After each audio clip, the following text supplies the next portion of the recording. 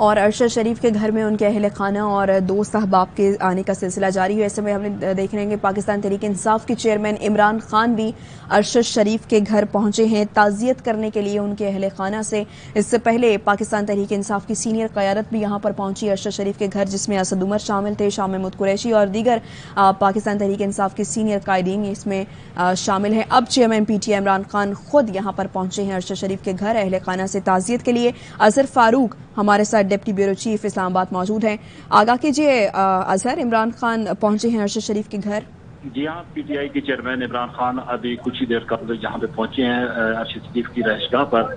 और इस वक्त वहाँ पे अंदर मौजूद हैं, अरशद शरीफ की वालदा हैं, उनकी अहलियाँ हैं और बच्ची भी हैं। इमरान खान और फैसल जावेद भी उनके हमरा हैं। इससे कबल में पीटीआई की जो लीडरशिप है, वो तकरीबन तमाम लीडरशिप जहाँ से मुलाकात करके जा चुकी है, ताजियत कर चुकी है। इमरान खान इस वक्त इजहार ताजियत भी कर रहे हैं और उन्होंने दुख और अफसोस का इजहार किया है कि अरशद शरीफ के साथ जो वाक्य पेश आया है, उन्होंने ये भी कहा है अली खाना से कि एक हक की आवाज़ थी जिसको दबा दिया गया है और इमरान खान ने वाजे किया कि वो पूरी कोशिश करेंगे और आवाज़ बुलंद करेंगे कि अरशद शरीफ को जो है वो इंसाफ दिया जाए।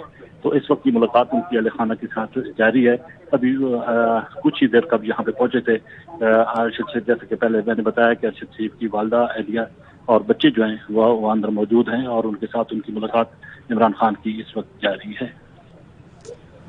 Deputy bureau chief Islamabad Azhar Farooq हमें बता रहे हैं अजहर ये कहिए सीनियर क्यादत में कौन कौन मौजूद है? यहाँ पर पहले से या फिर इमरान खान के साथ कौन आया?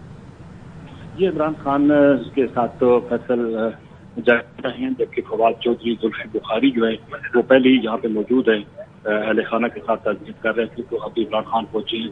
इससे कबल शाह महमूद कुरैशी असद उमर आज़म सवाती समेत पी टी आई की जितनी भी लीडरशिप है, वो भी यहाँ की ताजियत करती जा चुकी है। इस वक्त रशीद अहमद सबसे पहले यहाँ पे आए थे और उन्होंने भी ताजियत का इजहार किया, अफसोस का इजहार किया। सेक्रेटरी खारजा की मुलाकात हुई है थोड़ी देर का भी अहल खाना के साथ और अरशद शरीफ की जो वालदा है, उन्होंने सेक्रेटरी खारजा से यही मुतालबा किया है डिमांड किया है कि उनका बेटा बहुत लालटा था, उनको शहीद कर दिया गया है। अब उनकी एक ही ख्वाहिश है कि उसकी मैयत जो है वो जल्द जल्द पाकिस्तान पहुंचाई जाए। ताकि उसकी तदफीन की जा सके। तो सचिव खाजा ने भी उनको यकीन दिलाया कि इस हवाले से कोशिश जारी है कि जल्द से जल्द अरशद शरीफ की डेड बॉडी को पाकिस्तान लाया जाए। जबकि इस वक्त जो इमरान खान और पीटीआई की जो सीनियर लीडरशिप है, वो यहाँ पे मौजूद है अरशद शरीफ की रहशगाह पर। अरशद शरीफ की वालदा और अहलिया और बच्चे जो हैं, यहाँ पे मौजूद हैं। उनके साथ इमरान खान ने ताजियत का इजहार किया, अफसोस का इजहार किया है और उसको बहुत बड़ा साना दिया है, न सिर्फ़ पाकिस्तानी सियासत के लिए भी और पाकिस्तान के लिए भी इमरान खान ने। तो ये मुलाकात इस वक्त भी अभी अरशद शरीफ की रशगाह पर जारी है। चेयरमैन पीटीए इमरान खान अरशद शरीफ के अहल खाना से मुलाकात के लिए खुद पहुँचे हैं। इससे पहले सीनियर क़्यादत भी यहाँ पर पहुँची। शहीद अरशद शरीफ के घर पहुँचे हैं ताज़ियत के लिए उनके अहल खाना से। इमरान खान और यहाँ पर ताज़ियत की जाएगी। जैसे कि हमारे डिप्टी ब्यूरो चीफ ने बताया कि जुल्फ़ी बुखारी भी उनके हमरा मौजूद हैं। तो anchor person Arshad Sharif Kenya के शहर नारोबी में गोली लगने से शहीद हुए। कीनिया की मकामी पुलिस की जानब से वाक़े की तहकीक़त जारी है। इमरान खान की शहीद अरशद शरीफ के अहल खाना से मुलाकात होगी। अरशद शरीफ की वालदा और उनके अहल खाना से ताज़ियत करेंगे chairman P T I Imran Imran Khan. इससे पहले सीनियर क्यादत वहाँ पर पहुँची थी शाह महमूद कुरैशी शामिल थे। असद उमर वहाँ पर पहुँचे।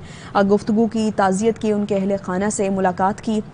अब chairman P T I Imran Khan खुद पहुँचे हैं ताज़ियत के लिए और anchor person Arshad Sharif Kenya के शहर नायरोबी में गोली लगने से शहीद हुए थे।